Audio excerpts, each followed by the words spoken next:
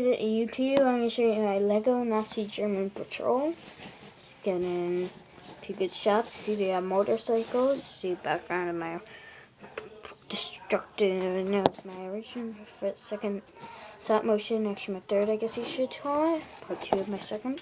Um, you see, this is, is basically it. CGs, handguns, P40s, motorbikes for Nazis. Pretty cool, right?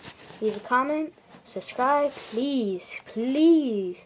I need so many views. Tell your friends, tell your family. Please, come on. Please.